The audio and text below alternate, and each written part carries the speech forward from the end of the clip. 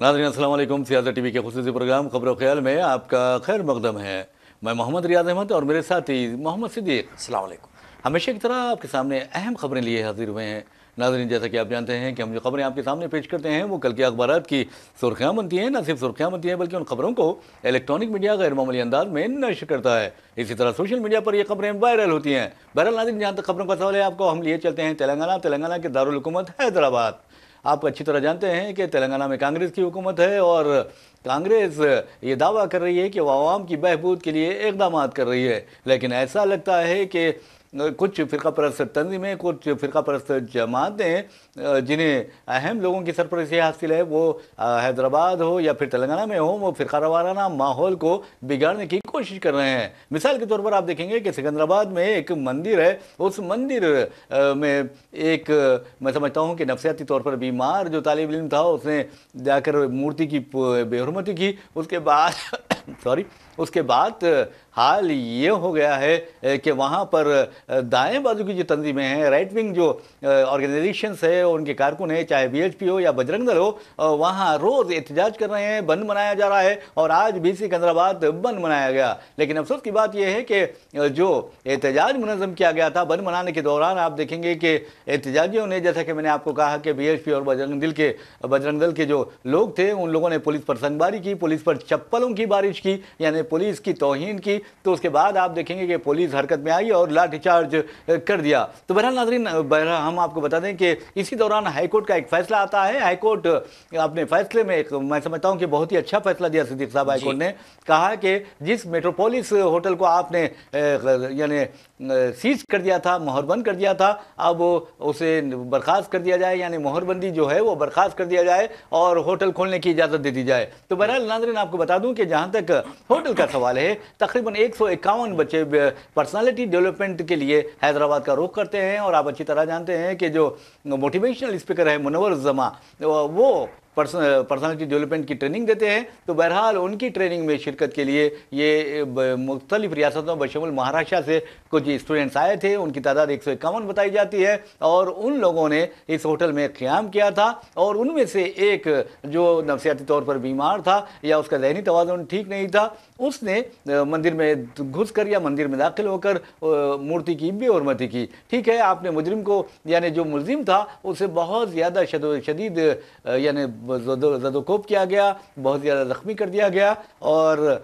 आप उसके बाद एहतजाजी मुजाहरे शुरू कर देते हैं और यहाँ तक कि पुलिस पर हमला भी किया जाता है। ऐसे में आप अंदाज़ा लगाइए कि एक होटल को बंद करना तो क्या ये ऐसा ही नहीं है कि कोई रेप कोई करता है और किसी को मुलजिम करार दिया जाता है, सज़ा किसी और को दी जाती है? तो बहरहाल इस तरह के जो वाक़ात होते हैं, वो मैं समझता हूँ कि पुलिस को बहुत सोच समझ कर एहतियात के साथ इकदाम करने चाहिए। मिसाल के तौर पर आप देखेंगे कि लालागुड़ा में एक मदरसा है, वहाँ मदरसे पर यानी पुलिस जाती है और वहाँ के जो नाजिम हैं उन्हें तीन तलबा को साथ तलबा को साथ लाने की हिदायत देती है और फिर ये कहा जा रहा है, मीडिया में जो न्यूज़ आ रही है, वो ये कहा जा रहा है कि आप ये इतराफ़ कर लें अपनी तरफ़ से कि मदरसे में दहशत गर्दी की तालीम दी जा रही है। अगर इस तरह की जो हरकतें की जा रही है, मैं तो समझता हूँ कि जो पुलिस वाले वहाँ पर मदरसा पहुँचे थे, जिन्होंने इस तरह की बात की है, तलबा को डराया, धमकाया है, उनके खिलाफ मदरसे की जानब से मुकदमा दर्ज किया जाना चाहिए, क्योंकि ये माशरे में बेचैनी पैदा कर रहे हैं, ये माशरे में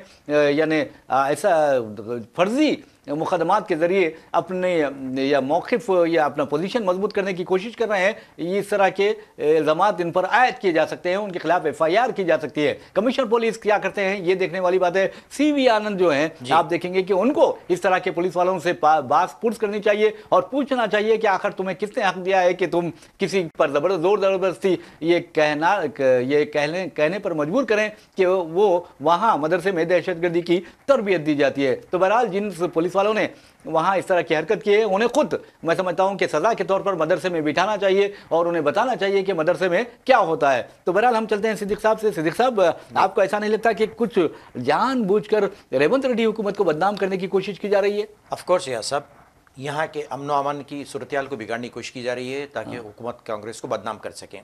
और ये मुसलसिल कोशिश है चंद दिनों से आप देख रहे हैं जो है। ना पब्लिक गार्डन में भी एक मंदिर में भी इसी तरह का वाक़ पेश आया था जो है ना में बिल्कुल जो। है ना और और भी ऐसे दो तीन वाक़ात है और डिस्ट्रिक्ट में भी ऐसे वाक़ात हो रहे। हैं जानबूझ के जो है ना यहाँ की हुकूमत को बदनाम करने के लिए कोशिश करें तो हमारी पुलिस इंटेलिजेंस का काम है कि बहुत अलर्ट रहे चौकस रहे। इसको बेनकाब करे क्योंकि आपको तो मालूम है ये इनकी माजी से तारीख यही रही है।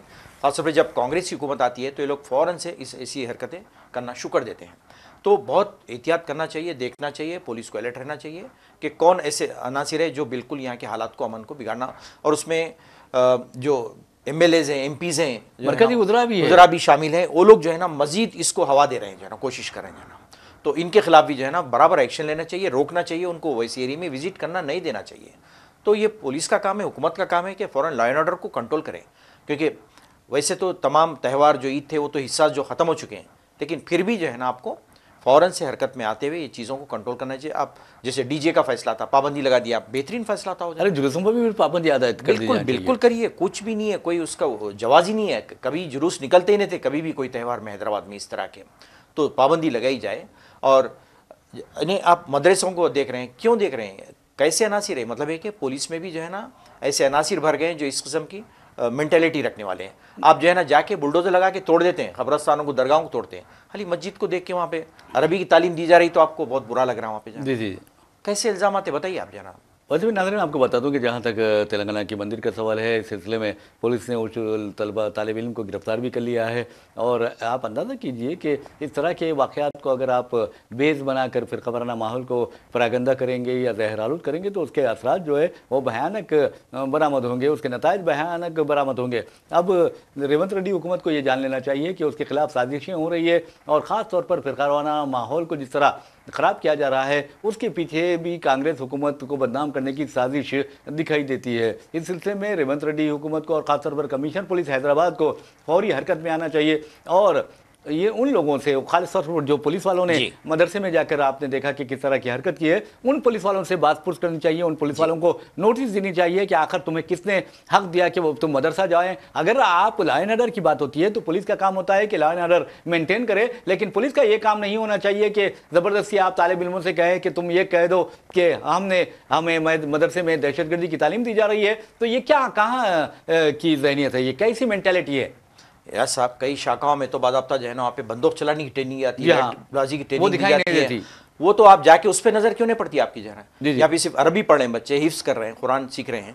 उन पे जाके आप इस किस्म की जन हरकतें करें। और दूसरी बात हिंदुस्तान के किसी भी तालीम इदारे में वो चाहे कोई शाखा हो चाहे कोई भी हो वहाँ पर जो हथियार की तशद की अगर तालीम दी जा रही है तो उसे बंद करना चाहिए। लाठी चलाना सिखाई जाती है हथियार चलाना सिखाए जाते हैं। तो क्या आपका मकसद क्या है? क्या चीन हम पर हमला कर रहा है? क्या पाकिस्तान से हमारी लड़ाई हो रही है? अगर वैसा होता है तो समझिए कि ठीक है आप तरबियत दे रहे हैं। चीन आके खुद राहुल गांधी कर रहे हैं सुब्रमण्यम स्वामी जो बीजेपी का सबक लीडर है जो बीजेपी के जो सबक रुकन राज्यसभा है वो कहते हैं कि चार हज़ार मुरबा किलोमीटर जो। ज़मीन हमारी है या इलाका है हमारा है चीन ने उस पर कब्जा कर लिया है तो फिर चीन के साथ हम क्यों अच्छे ताल्लुकात रखते हैं? चीन के खिलाफ कार्रवाई क्यों नहीं करते? या जो हमारी लाठी जो शाखाओं में चलाए चलानी सिखाई जा रही है जो हथियार चलाने सिखाई जा रहे हैं उन्हें सरहदों पर क्यों नहीं भेजा जाता? यस आप आप तलवार से लड़ेंगे कोई आप पे अटैक करता है तो जाके लाठी से लड़ेंगे आप या तीरंदाजी से लड़ेंगे। ये समझने की बात है ना? ये लोग क्या मुल्क की हिफाजत कर सकते हैं? अरे ऐसे इश्तिहार दिए जा रहे हैं सिद्दीक साहब। आप सोशल मीडिया पर देखिए शर्म आनी चाहिए। ऐसा लग रहा है कि ये लोग हिंदुस्तान को तबाह और बर्बाद करने पर तुले हुए हैं। बिल्कुल जाना नहीं जब ज़रूरत पड़ती है तो जाइए आप लड़िए। मुल्क पे कोई हमला करता है तो जाइए आप जाके बॉर्डर्स पे मुकाबला करिए अपने दुश्मनों बिल्कुल बिल्कुल। जब मालूम होगा कि वाकई कितनी देशभक्ति है आप में कितना देश के लिए क्या कर सकते हैं। खाली आप इन्हें दूसरी मजाहब के लोगों को डराने के लिए आप जो है ना लाठी तीरंदाजी तलवारबाजी ये सिखा रहे हैं जो है ना। अरे बात तो ये है कि जो तलवारबाजी सिखा रहे हैं अंग्रेज़ों के तलवे चाटते रहे हैं ये लोग। बिल्कुल कभी तहरीक आज़ादी में लोगों ने हिस्सा नहीं लिया। कोई हिस्सा नहीं है कुछ भी नहीं है। ये लोग जो है ना गुलाम थे बाजाबता पेड गुलाम थे लोग। बाजाबता बाजा मिलते थे लोगों को तनख्वाह मिलती थी इनको। मिलती थी। और अंग्रेज़ भी बहुत खुश थे इनसे क्योंकि ये लोग जो है ना देश के खिलाफ ही काम कर रहे थे। अंग्रेज़ों के खिलाफ जब हिंदुस्तान तहरीक छोड़ दो तहरीक शुरू हुई थी तो आपको बता दूँ कि उस वक्त भी इन लोगों ने हिस्सा नहीं लिया। आरएसएस ने बाद अब तक अपने कारकुनों को हिदायत दी थी कि वो गांधी जी की शुरू करदा हिंदुस्तान छोड़ो तहरीक जो अंग्रेज़ों के खिलाफ है उसमें हिस्सा ना लें। हमेशा अलग थलग रहते थे जितनी तहरीकें हुई गांधी जी की जितने मूवमेंट्स तहरीकात हुए ना उसमें लोग कभी भी कभी भी पार्टिसिपेट लोग नहीं किए बल्कि उल्टा लेडीज़ वगैरह आ जाते थे बे इन बेखौफ होकर उसमें। जी हाँ, जी हाँ, हाँ। ये लोग ने कभी भी कोई पार्टिसिपेट किया तारीख में कहीं भी लिखा हुआ नहीं है। जी जी। बहरहाल नाजरीन मैं समझता हूँ कि जो फिरका परसदरीन ने हिंदुस्तान को तबाह बर्बाद करने पर तुले हुए हैं उनके खिलाफ मुकदमा दायर किए जाने चाहिए। मिसाल के तौर पर आप देखेंगे कि मरकजी ममलिकत वज़ीर दाखिला बंडी संजय हो या फिर किशन रेड्डी हो या दूसरे बीजेपी कायदीन हो जिस अंदाज में वहाँ पर उनके बयान आ रहे हैं जिस तरह उकसाया जा रहा है लोगों को मासूम भोले भाले हिंदुओं को उन्हें आप अंदाज़ा कीजिए कि किस तरह तबाही की तरफ़ ले जाया जा रहा है? हमारी रियासत में अमन है हमारी रियासत में लॉ एंड ऑर्डर यानी कंट्रोल में है और आपने देखा कि उसी वजह से आज हिंदुस्तान में तेलंगाना रियासत हिंदुस्तान की सबसे कम उम्र रियासत होने के बावजूद भी तरक्की के लिहाज से आगे है। रिया साहब अगर आप इंडेक्स देखें रिसेंटली जो लिस्ट आई थी उसमें जो जी, हैदराबाद को तेरह तेरहवा मुकाम है वो। आलमी नंबर पे जी, जी। और इन्हें पाँच छः साल के बाद नंबर वन पे आ जाएगा हैदराबाद बिल्कुल, बिल्कुल। की जो तरक्की है अमनो अमान है सुकून है और जो तरक्की से जो तेज़ी से तरक्की हो रही है खासतौर पर आई सेक्टर और हमें तो ये वर्ल्ड के जो है ना प्लेटफॉर्म पे नज़र आ रहा है हैदराबाद जो है जी बिल्कुल बिल्कुल आपने तो ये लोग चाहते हैं कि तरक्की को रोक दे इसको मुतासिर करे जाना जी। बेंगलुरु का हाल करके रखे थे मालूम है हाँ सिलिकन वैली का मौके खत्म हो गया उसका खत्म हो गया इतना इतना दबाव कर दिया अपने हाँ। दौर में लोग कि उसकी तरक्की सारी रुक गई पूरे भाग्य निकल के पूरे जो एक्सपर्ट्स थे पूरे साइंटिस्ट थे वहाँ घबरा गए ये क्या हो रहा है? यहाँ पे आए अमन है बोल के आए हम यहाँ पर। बड़े बड़े कंपनीज़ खुल गए थे वहाँ पे। जी हाँ जी हाँ हाँ। तो लोग डर गए ये भी ये कि इन्वेस्टमेंट की जगह ये काम करने की जगह ये लोग तो ऐसा जहाँ भी जाते हैं डर खौफ का माहौल पैदा करते हैं और इन्वेस्टमेंट जो होता है उसको रोक देते हैं लोग आगे अरे आप अंदाज़ा कीजिए फिरका परस्ती का लेकिन याद रखिए कि जो जो भी हुकूमतें हैं जो भी लीडर्स हैं वो तुम्हारा इस्तेसाल कर रही हैं। मासूम भोले भाले हिंदुओं का इस्तेसाल कर रहे हैं गरीब हिंदुओं का इस्तेसाल किया जा रहा है। उन्हें ना हिंदुओं से कुछ लेना देना है ना हिंदुइज्म से कुछ लेना देना नहीं है बल्कि वो अपना इख्तदार चाहते हैं। मिसाल के तौर पर आप नरेंद्र मोदी हुकूमत को लीजिए। नरेंद्र मोदी हुकूमत हलाल सर्टिफिकेट आप देखेंगे कि वो भी मीट एक्सपोर्ट्स के लिए हलाल सर्टिफिकेट को मंजूरी देती है। जबकि आप देखें कि ये खबर को छुपा दिया गया था गोदी मीडिया भी ये खबर को छुपा कर रखा था और यकुम अक्टूबर को जो वाक्य हुआ था आठ यानी दस बारह दिन के बाद ये ग्यारह अक्टूबर को ये बंदरयाम यहाँ पर लाया गया। तो ये आप अंदाज़ा कीजिए कि आज हिंदुस्तान जो बी मीट और ये बीफ एक्सपोर्ट है उसमें एक्सपोर्टर्स में हिंदुस्तान सरफहरिस्त है। टॉप है। आज भी अगर आप? गल्फ कंट्रीज़ में जाएँ तो पता चलेगा कि तकरीबन जो बीफ आता है सब इंडिया से आता है। फिर? पूरा बाजाबता सीड लो के बाजाबता गवर्नमेंट की निगरानी में जो गवर्नमेंट की निगरानी में आ रही है और हमारे जो हिंदू भाई है जिन्हें ब- बरगलाया जा रहा है जिन्हें उकसाया जा रहा है जिन्हें गुमराह किया जा रहा है उन्हें सोचना चाहिए कि ये जो चीज़ें हैं ये फिरका परस्त जो हैं वो दरिंदे अपनी औलाद के लिए अपनी पार्टी के लिए अपने इकतदार के लिए इकदाम करते हैं और हिंदुओं से उन्हें कोई दिलचस्पी नहीं है ना हिंदुओं के मफादात से। अब अंदाज़ा लगाइए कि बेरोजगार अगर हिंदुस्तान की जो आबादी है एक करोड़ है और तकरीबन 90 परसेंट हिंदू हैं अगर तो तो फिर बेरोजगारी किसमें ज़्यादा है? हिंदुओं में ज़्यादा है। ऑफ़ कोर्स जो है ना परसेंटेज उनका ज़्यादा है जो है ना। नुकसान किसको पहुँच रहा है ये तो सोचें हिंदुओं को पहुंचेगा। मुल्क किधर जा रहा है आखिर जो है ना मुल्क की तरक्की आप रोक दे रहे हैं जो है ना इस किस्म की हरकतें करके। अरे टमाटर खरीद कर हमारा गरीब तबका क्या है? मैं समझता हूँ कि जो। मिडिल क्लास तबका है वो नहीं खा सकता। प्याज की कीमतें आसमान पर पहुँच रही है। अब तेल की कीमतें आप देखिए कि 400 फ़ीसद इजाफा हो चुका है। जी हाँ बिल्कुल। सारी तरकारियाँ इन्हें जितने रोज़मर्रा खाने की चीज़ें इतनी महँगी हो चुकी हैं कि आम आदमी की दस्तरत से बाहर। है। आदमी सोच रहा है खरीदने के लिए उसको। यानी आप मटन चिकन तो छोड़ दीजिए। ये जो रोज़मर्रा की तरकारी वो भी इतनी महँगी हो चुकी है कि आदमी सोच रहा है कि क्या करेंगे? दालों के जो रेट हैं हाँ, हाँ। कोई कंट्रोल नहीं है कोई काबू नहीं है किसी अरे हाल तो ये है कि आप अंदाज़ा कीजिए कि एक जेल में बैठा एक गुंडा आप अंदाज़ा कर सकते हैं कि किस तरह हुकूमत चला रहा है किस तरह हरकतें कर रहा है किस तरह लोगों को धमकियाँ दे रहा है और आप अंदाज़ा करते हैं कि उस पर कोई काबू पाने वाला नहीं है। वो तो वहाँ तो जेल में नाच रहा है गा रहा है जश्न मना रहा है व शायरी कर रहा है।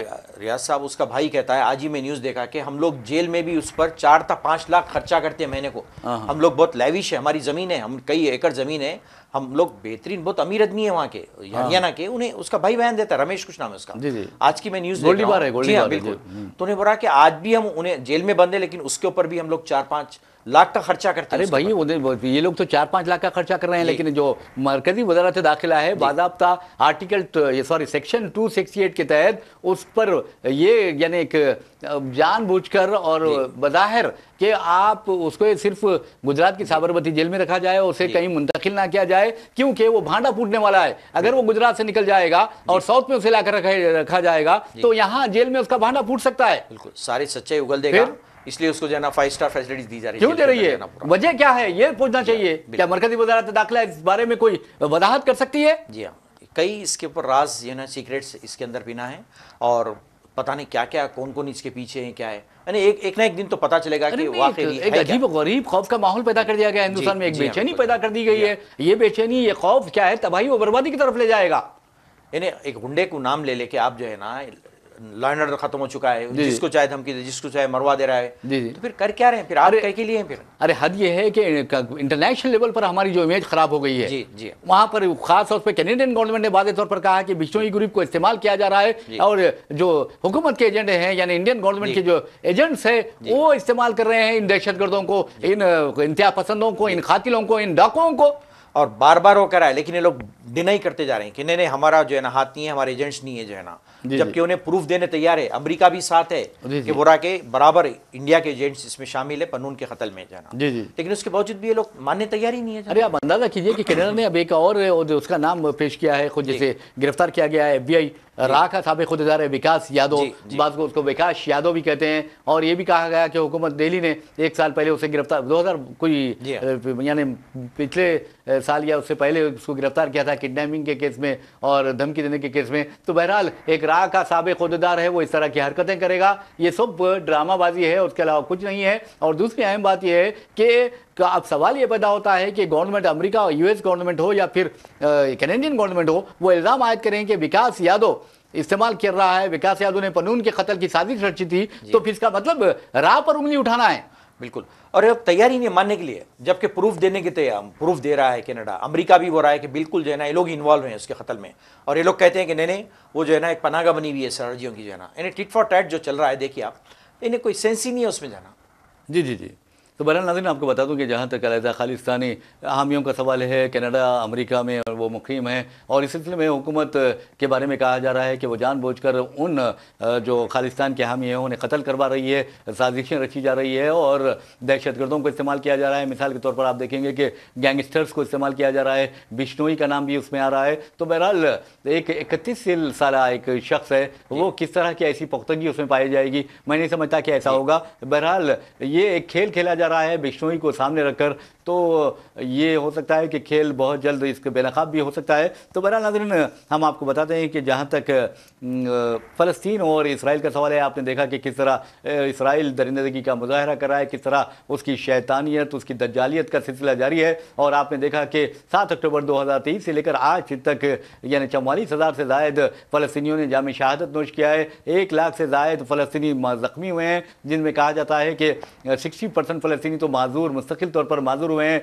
और आपने देखा कि किस तरह यानी इस्माइल हनिया जो हमास के सरबराह थे, उन्हें शहीद किया गया ईरान में धोखे से। फिर इसके बाद आप देखेंगे कि किस तरह मौजूदा सरबराह यहिया सिनवार को शहीद किया गया। और अब आपको ये बताना ज़रूरी है कि इसराइल की दरिंदगी, उसकी मकारी का अंदाज़ा आप इस बात से लगा सकते हैं कि हमास के अब तक पाँच सरबराह हुए हैं, जिसमें से चार सरबराहों को इसराइल ने कत्ल किया है, यानी शहीद किया है। मिसाल के तौर पर 2004 में आप देखेंगे कि हमास के बानी शेख अहमद यासीन को, जबकि वो नमाज़ पढ़कर निकल रहे थे। उन्हें हमला करके शहीद कर दिया गया। ये पहले सरबराह थे हमास के बानी थे। फिर उसके बाद अप्रैल 2024 में, यानी विद इन वन मंथ आपको बता दूँ कि इसराइली दरिंदगी का अंदाज़ा इस बात से लगा सकते हैं कि इसराइली दरिंदों ने अब्दुल अज़ीज़ अल रंतासी को शहीद किया। यानी मार्च में शेख यासीन को, फिर अप्रैल में हसन रंतासी, अब्दुल अज़ीज़ रंतासी को, और फिर 31 जुलाई 2024 में इस्माइल हानिया को शहीद किया। और फिर आप देखेंगे कि 16 अक्टूबर 2024 को यहिया सिनवार को उसने शहीद किया। तो आप अंदाज़ा कीजिए कि ये दहशतगर्दी कर रहा है और सारी दुनिया में दहशतगर्दी गर्दी की जो असल जड़ है, जो सबब है, वो इसराइल है। या साहब अमेरिका क्लियर करा है कि भाई या ये शनिवार को तो तुमने खत्म कर दिया। हाँ। अब नेगोशिएशन का टाइम आ गया है बस करो इट्स एनफ लेकिन वो मानने तैयार नहीं है। क्या बस करो? जो इंडिया पसंद है जी ना ये मानने तैयार नहीं है। बोला कि नहीं नहीं जब तक कि हमारी यरगमा राह नहीं होती मैं बराबर हमला करते जाऊँगा। लेकिन हमास की आप बता रहा हूँ कि आप देखेंगे कि कई अहम लीडर अहम कमांडर्स अपनी ज़िंदगी से महरूम हो चुके हैं और जाम शहादत नोश किया है और हमास इन नुकसान के बावजूद कह रही कि हम इसराइल को नहीं छोड़ेंगे और ना ही इसराइल के यरगमालियों को रिहा करेंगे। उस वक्त के जबकि इसराइल अपनी जेलों में बंद तमाम फलस्तनी कैदियों को रिहा नहीं करता और गजा पर जिस तरह के वो हमले कर रहा है वो बंद नहीं करता। उसका सिलसिला जारी रखता है। तब तक हम हर हाल में इसराइली यरगमालियों को छोड़ने वाले नहीं है। चाहे हम शहीद हो जाए चाहे हम मिट जाए लेकिन इसराइल को ले डूबेंगे। बिल्कुल उन्होंने क्लियर कहा है।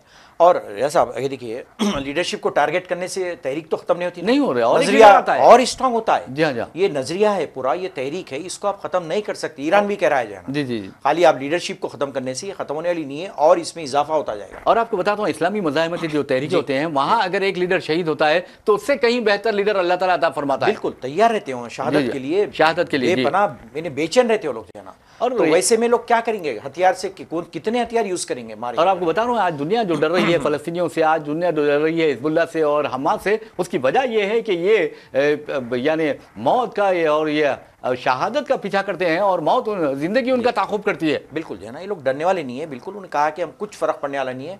हर बच्चा हमारे पास जो है ना हमास का लीडर। हर बच्चा है जो है हर बच्चा शहीद होने के लिए तैयार तैयार है। बिल्कुल जो है ना। और यही तो हकीकी माँ कामयाबी है। फखर का इजहार करती है कि हमारा बच्चा शहीद हुआ तो और एक तैयार है हमारे लिए। माशाल्लाह। तो बहरहाल नाज़रीन आपको बता दूँ कि जहाँ तक सलमान खान का सवाल है और हमने बिश्नोई ग्रुप की बात बारे में बात की है उन्हें धमकियाँ दी जा रही है उन्हें कत्ल करने के बार बार धमकियाँ भी मौसूल हो रही हैं। लेकिन एक बात अहम है कि सलमान खान जो बॉलीवुड की जान है उन्होंने दुबई से एक और ब्लड प्रूफ गाड़ी इंपोर्ट की है ताकि उनके जो घर को और उनको जो से, सेफ्टी की ज़रूरत है वो मैसर हो जाए। तो बहरहाल अब देखना यह है कि किस तरह के हालात सलमान खान को मजबूर कर रहे हैं कि वो बुलेट प्रूफ गाड़ी ले लें। अब सवाल ये पैदा होता है कि जो तहकीकती एजेंसियाँ हैं मरकजी एजेंसियाँ हैं निफाज कानून की एजेंसियाँ हैं उन्हें बिश्नोई गैंग की सरगर्मियाँ नज़र क्यों नहीं आती? खामोश बैठे में कुछ भी हरकत नहीं है जो है ना और अब कहते हैं Y plus Z plus security किधर गई सिक्योरिटी किधर गई जी जी तो ये सब ऐसा दिखता है कि ड्रामाबाजी कर रहे हैं लोग जाना जी जी जी। बहरहाल नाजरीन हम आपको एक खैंची की कहानी सुनाएँगे क्योंकि अपना हमारा प्रोग्राम इख्ताम को पहुँचने वाला है।